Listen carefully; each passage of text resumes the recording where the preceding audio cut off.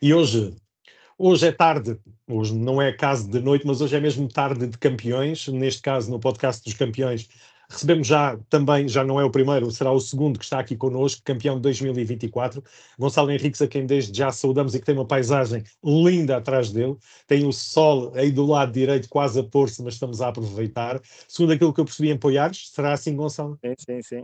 Em Vila Nova. Vila Nova de Poiar, espetacular, com uma paisagem magnífica. Mando desde já os cumprimentos e vou começar por dar os parabéns, obviamente, Gonçalo. Vamos, obviamente, comemorar aqui essa conquista do segundo campeonato, já vamos saber o que é que este tem de diferente. Mas eu ia perguntar ao Gonçalo já de, de, de início, é como é que está a sentir agora que, eh, neste caso concreto, o campeonato já fechou, já temos as contas feitas e o Gonçalo volta a ser campeão, neste caso, das duas rodas. Gonçalo, como é que está o estado de espírito nesta altura? Bem-vindo, uma boa tarde. Olá Gonçalo e muito boa tarde a todos os que perderam um bocadinho para nos ouvir. Uh, uh, Sinto-me muito bem, claro, foi um ano de muito trabalho e de muitos esforços. Uh, chegar ao final e conseguir cumprir os nossos objetivos é um motivo para nos sentirmos muito bem e orgulhosos daquilo que conseguimos fazer. Claro que sim. Ainda só passou uma semana, portanto, ainda não dá para, para se sentir uh, a pleno esta conquista do segundo campeonato consecutivo. Mas eu ia perguntar já, comparando uma semana depois do campeonato do ano passado, o que é que este tem de diferente? Já aquela sensação de tranquilidade depois de. O custo é sempre o primeiro, é segundo dizem, é isso que falam? Sim, uh, na verdade, o sentimento depois de vencer uh, foi, foi mais intenso no primeiro uh, mas desta vez foi um pouco diferente e para a última prova estava a sentir bastante pressão uh, que não sentia das outras vezes, porque cheguei sempre em segundo lugar à, à, final, digamos assim, e desta vez não, e em primeiro e com uma vantagem uh, algo confortável, mas não suficiente. precisávamos apenas de um quarto lugar Uh, e às vezes sabermos disso é pior, a desconcentração pode apoderar-se de nós, mas nós conseguimos lutar contra isso e fizemos o nosso rally sem grandes, sem grandes exageros, mas sempre com o nosso ritmo, um ritmo forte e acabámos por conseguir vencer, o que foi, foi ótimo para o final de temporada. E também já tinha falado com a Inês que gostava de voltar a vencer neste ano e vencemos a última prova. Muito bem. É habitual fazer-se esta pergunta e por isso Gonçalo com certeza já lhe puseram a mesma questão. Aqui no caso concreto, onde é que esteve o, o segredo do sucesso? Eu aqui aproveitava e punha aqui um, um, aspas eh, relacionado com a Inês Veiga, a quem também aproveito para saudar, que não está hoje aqui presente, não calhou, mas a Inês já era campeã antes, ela já tinha o campeonato conquistado, mas eu ia perguntar aqui no caso concreto ao Gonçalo, olhando para este ano de 2024, onde é que esteve o segredo do sucesso?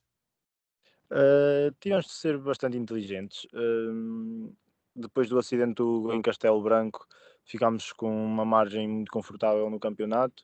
Uh, a partir daí, só tínhamos que gerir o, os nossos ralis, terminar sempre num pódio, e isso seria suficiente para, para voltar a vencer o campeonato.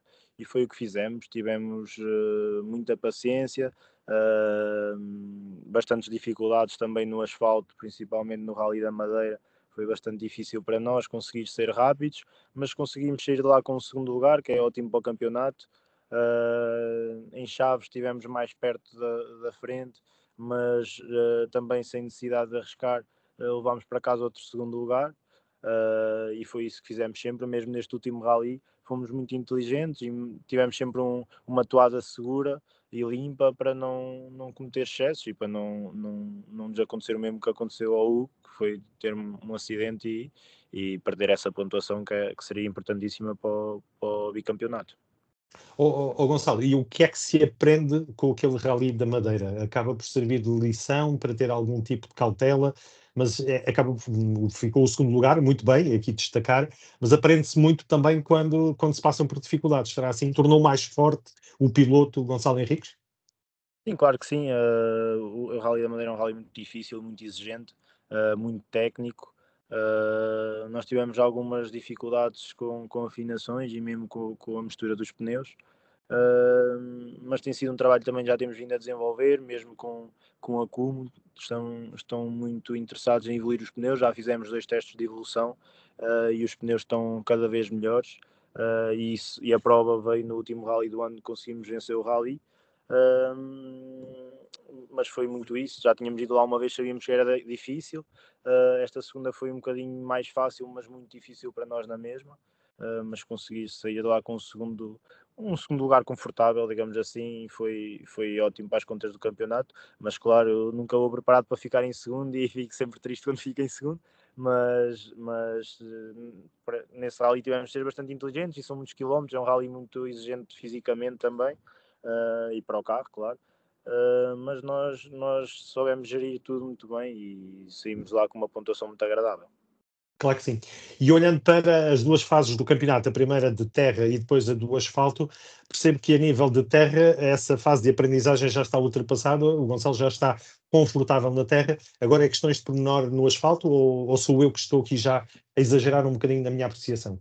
Uh, não, uh, nós, nós também, claro, tem, também na terra tem que evoluir, uh, não, não sou um produto acabado, mas, mas estou mais à vontade na terra e, e apesar de que nós queríamos muito vencer na terra porque sabíamos que as dificuldades no asfalto iam ser maiores, nós tivemos duas resistências em rallies de terra nos complicaram muito a vida. Num, num, num deles, na, no Algarve, estávamos em primeiro. Uh, claro, ainda faltava muito rally, mas a, caixa, a caixa de velocidade cedeu e nós tivemos que abandonar. Uh, e seriam pontos muito importantes. Já podíamos ter sido campeões se não fossem essas resistências, mas os rallies são mesmo assim. Aconteceu também com o Hugo. Uh, e nós, depois disso, também, depois da, do Algarve, fomos para Amarante. Uh, esse rally um pouco mais difícil para nós, mas, mas também estávamos em segundo lugar quando desistimos. E, como é óbvio, num, num campeonato em que podemos apenas deitar dois resultados fora uh, deitarmos logo a segunda e a terceira prova, torna tudo um bocadinho mais difícil, principalmente nós que este ano tivemos um orçamento tão limitado, mas, eh, mas conseguimos dar a volta por cima e, e chegámos muito bem ao fim. Muito bem, uma aprendizagem constante, isso faz parte mesmo do ADN do Gonçalo, já o percebemos isso em anteriores entrevistas aqui no 16 Válvulas. A pergunta seguinte tem a ver com a Inês. Eh, também houve aqui evolução, o que é que o Gonçalo nota? Porque estão os dois dentro do carro, que vocês já se conhecem, antes de entrar para o carro já têm que ter um grau de cumplicidade entre os dois, têm que estar muito à vontade um com o outro. E eu pergunto aqui, uma vez que ela não está aqui presente, e naturalmente poderíamos ter a opinião dela, mas o Gonçalo também pode dizer um bocadinho do trabalho que ela fez durante esta, esta temporada. A Inês não, não começou o ano logo comigo, uh, só a, a, quarta prova é que, é uhum. que começou comigo, uh, e, mas há sempre um trabalho de adaptação e a Inês é uma navegadora já com alguma experiência. Uh, ela esteve sempre bem, claro que no início houve sempre aspectos a melhorar, mas de uma parte e de outra, porque não, não, nunca é só um trabalho de uma pessoa, é dos dois mas, mas apontamentos muito pequenos, nunca, nunca senti falta de, de, de nada da parte dela. É, é só o entrosamento, claro que não é numa prova que, que isso se consegue, mas já a segunda ou a terceira já estava perfeito e, e, e espero que seja uma parceria para continuar. Uhum. Ele é muito experiente também. E em relação ao próprio campeonato das duas rodas, qual é a opinião do Gonçalo agora que com o bicampeonato evoluímos aqui em Portugal, regredimos? O que é que o Gonçalo pode dizer como participante, obviamente? Uh, no, no, meu caso, eu acho que evoluímos, claro, uh, e, e, a prova tem sido o, o, campeonato está cada vez mais disputado, com pilotos cada vez mais rápidos. Temos o Pedro Pereira, o Rafael Rego, o Pedro Silva, pilotos que estão cada vez mais rápidos e a conseguir lutar pelas vitórias. Uh, por isso acho que sim, que é um campeonato onde, onde há competitividade e onde há muita margem de evolução e será certamente uma boa escola para, para voos mais altos. Muito bem. E já que falamos, neste caso, do próprio Campeonato de Portugal de Rallys, perguntava-lhe da opinião à geral, obviamente nas lutas dos grandes tubarões, entre aspas, mas também já agora falar aqui um bocadinho destas fórmulas de promoção com o novo troféu Clio, também com a continuidade dos troféus do Peugeot, também aqui do Toyota. Qual é a, a opinião que o Gonçalo também pode partilhar connosco sobre o Campeonato de Portugal de Rallys? Uh, eu penso que. E o trabalhar com os jovens, já agora, claro que eu gosto sempre de ouvir e o Gonçalo tem sempre algo para me acrescentar uh, no relação... buscar os jovens. Sim. Em, relação ao, ao, campeonato, ao campeonato de Portugal, eu penso que, que continua a ser um campeonato muito disputado. Uh, os pilotos da frente, e não só, são, são muito fortes e, e não será certamente fácil para quem deu o passo uh, do campeonato das rodas motrizes para o campeonato absoluto uh, conseguir lutar logo com eles. Mas, mas certamente é um trabalho que se fará e é possível de, de concretizar. Em relação aos troféus, são sempre uma mais-valia, como é óbvio, apesar de eu nestes últimos dois anos não ter participado em nenhum dos troféus, uh, são sempre uma mais-valia por causa também das ajudas monetárias e tudo mais, uh, os prémios monetários, digamos assim, e isso tem-se visto. Temos um, um Hugo Lopes também em ascensão, temos um Rafael Rei que fez, fez dois anos de troféu e já lutou, já aliás, ele ganho, ia, quase que ganhou o Rally de Chaves. Uh, teve um acidente a duas curvas do fim, mas coisas que acontecem é, que anda, é quem anda depressa. E o Rafael uh, mereceu que, que merece, mostrou que merecia ganhar aquele rally. Uh, e ele tem apenas 18 ou 19 anos, portanto ele ainda é muito novo. Eu já tenho 26, já sou quase velho ao pé dele. portanto, penso que são troféus que são sempre uma mais-valia e uma forma das pessoas com menos oportunidades conseguirem fazer rallies. Muito bem. E quando se fala de agradecimentos para esta temporada, eu tenho a certeza que o Gonçalo vai incluir aqui a Domingos Sport e por isso vai estar à vontade, mas haverá aqui mais pessoas, entidades, alguém que, que, esteve sempre ao lado, mesmo nas alturas difíceis, aquela sequência das duas provas onde não foi possível pontuar, que teve de deitar resultados fora, aí deu para esclarecer quem é que estava de lado, de facto, do Gonçalo, quer deixar agradecimentos? Sim, tenho, claro, o meu maior agradecimento é para a Domingos Sport, tem feito, feito muito por mim e certamente não estou parado por causa deles uh, para, a Com, para a Com Tires, que foram os principais responsáveis desta época se concretizar, e claro aos meus pais e à minha família, que fazem um esforço imenso para eu consiga, consiga continu, continuar a fazer rallies e consiga continuar a realizar o meu sonho. Claro que sim. As perguntas fáceis já estão. Como o Gonçalo já percebeu, eu tinha combinado que eram 10 minutos, mas com 11 minutos eu tenho que fazer a pergunta difícil.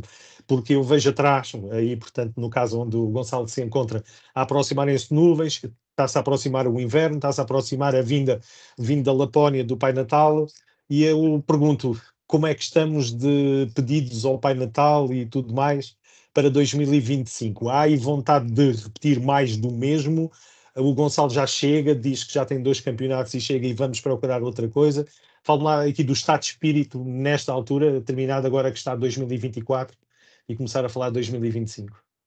Sim, a nossa vontade não será muito continuar a, no campeonato de duas rodas motrizes, queremos, queremos novos voos. Uh, não quer dizer que seja num carro diferente, uh, pode ser até um campeonato da Europa, duas rodas motrizes ou algo assim. Uh, depende muito também do orçamento que nós consigamos reunir e por isso vamos trabalhar muito agora nesta fase para, para montar o nosso projeto e, e para aparecer com um projeto ganhador e, e claro, de evolução, porque certamente qualquer que seja o campeonato será um campeonato novo, uh, seja com carro novo ou, ou, ou em rallies novos, uh, terá sempre que haver uma evolução uh, e será sempre uma novidade aquilo que eu irá realizar. Mas percebi logo a primeira aposta, a primeira coisa, em vez de falar do campeonato em Portugal, foi logo lá fora. Já chega de Portugal, é isso? Já, o Gonçalo já procura outro nível de competitividade de adversários? Será isso? Não, não é que já chega de Portugal. Uh, claro que se houver oportunidade de, de, evoluir em Portugal e fazer o campeonato de Portugal uh, num carro mais competitivo, uh, eu não vou dizer que não e adoraria fazer isso. Mas também gostava muito de fazer o campeonato Europa e penso que, que será uma forma de evoluir. E de, e, de, dar também um bom salto, não sei, vamos ver aquilo que, que será e, e, quando, e quando for a altura nós vamos dar as novidades. Claro que sim. Muito bem, Gonçalo. Vamos aproveitar nesta altura então, porque já estamos aqui esclarecidos, mas faltava esclarecer. Há um acordo de, vamos dizer, de um aperto de mão num restaurante à mesa com o Domingos Sport para 2025, ou isso são coisas que se falam no jantar de Natal da equipa na Domingos Sport para comemorar o título e nessa altura é que se decide alguma coisa? Uh, não, não, não há nenhum contrato assinado, como é óbvio. Uh, mas uh, também não precisamos disso. Uh, a Domingos Sport é quase uma família para mim. Não quer dizer que eu vá correr com eles no próximo ano, não é isso que eu estou a dizer, mas acima de tudo o que eu sinto é gratidão e, como é óbvio, quando for a altura de escolher a equipa, nunca me vou esquecer disso. E, claro, a minha preferência recai sempre sobre a Domingos Sport e eu vou tentar que seja com eles. Muito bem. Gonçalo Henriques, parabéns sem dúvida nenhuma, excelente conquista do bicampeonato. Ficamos à espera dessas boas novidades e até lá que as nuvens que estão atrás, que já começaram a dissipar-se, ao contrário do que eu dizia. Portanto, estão a ficar com menos dúvidas para 2025. As nuvens negras por cima da cabeça já estão a desaparecer. Tudo se vai decidir e vai com certeza definir bem o projeto futuro do Gonçalo. Vou agradecer esta simpatia, de estar aí com este magnífico pôr do sol. Não o vimos diretamente, mas já dá para entender aí do lado direito a queimar, ficar mais bronzeado do lado direito. Ficam os votos, de facto, de boas negociações para 2025 e os parabéns, obviamente, extensíveis à Domingos Sport e à própria Inês Veiga. Vocês estão mesmo de parabéns e vou ficar à espera das novidades. Gonçalo, uma Muito boa obrigado. tarde, obrigado pela oportunidade também. Até breve. Obrigado, obrigado Adeus, obrigado, obrigado, Gonçalo.